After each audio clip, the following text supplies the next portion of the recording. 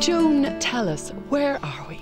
Well, we're in Bellamont Forest, just outside the town of Cootehill. And behind you is a most splendid of houses. When was this built and who was it built for? Well, it was built in 1729.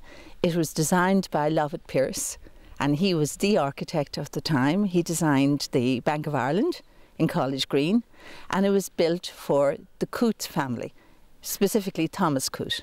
Now, Thomas Coote was was a Cromwellian soldier. He was, yes. it was actually his. Um, it must have been his grandfather, Charles Coote. He was a Cromwellian general, and uh, he, of course, was granted land in this area, and he was also granted land in Sligo, and uh, as a family, they prospered.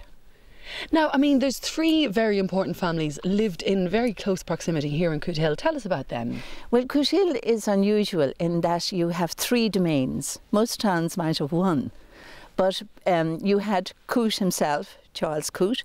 You also had Daniel Clements, who was a, a cornet of the horse in Coote's army, Coote's battalion. And you had um, Dawson, Thomas Dawson, and he equally was a cornet of the horse. So they were granted land in proximity to their leader. And all three of them established domains here in the town. Now we can just see over here to our left, um, I suppose in the distance, um, the top, uh, a spire of a, ch a church here. Yeah. This was on Dawson's land. That's right, that's right.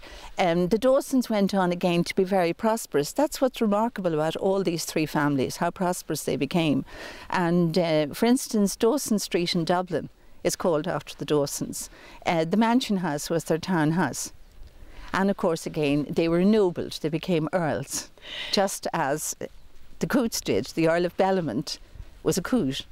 Now, Joan, neither of the two houses, either Clements nor Dawson's, remain, but Cootes does. That's let's, right. Let's talk about the, the house yes, itself. Yes. It really is spectacular. It is, it is. Well, it is the finest Palladian mansion in the British Isles the finest example of Palladian architecture. Tell us, what is Palladian architecture? Well, it goes back to uh, a guy called Andrea Palladio. Uh, he uh, was a Renaissance architect in Italy, of course, and he um, he used the classical designs of the uh, Greek period.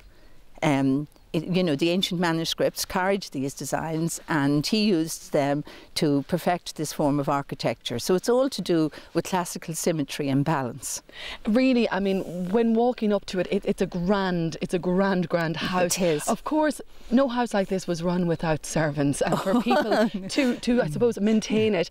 We have the servants' quarter at the back. Tell us yeah. about that. Well, the servants access their quarters through a tunnel. So the tunnel is at the back of the house, down at the basements. And of course, the whole point was the servants were to be never seen nor heard. So they served their masters and then exited uh, through the tunnel. They also used the tunnel to get to the vegetable gardens and to bring produce in. It's remarkable uh, the condition that this house still yeah, is yeah. still in because it really is a fine structure and and really intact. Oh yes. Well, it was blessed in that the Cootes themselves stayed in it the middle of the 19th century, and then the family is Smiths, but they changed their names to O'Gowan. The most um, prominent of those would be Brigadier General Eric Dorman O'Gowan who fought in the Second World War and who subsequently sued Winston Churchill. so there's a rich history in this. Yeah, oh, there is. There's all that. Yes, yes. I'm sure growing up in the area, Joan, you would have heard lots of stories about this house, but it really is. It's on 80 acres of parkland. Yes, yes. We have many lakes in this area as well. Well, they always say that there's a lake for every day of the year in Cavan. well, certainly some of the major ones are here. Like the site is fantastic because it lies between two lakes. You know, you've a lake to the, the left of you and a lake to the right of you. This really is a hidden gem, isn't it, Joan? Yes. And it's something that Cootehill can enjoy as well. Well, it is in private ownership. It, it isn't open to the public. So maybe some people, even in Cootehill, have never seen it. Oh, very much so many, many people have never been in it.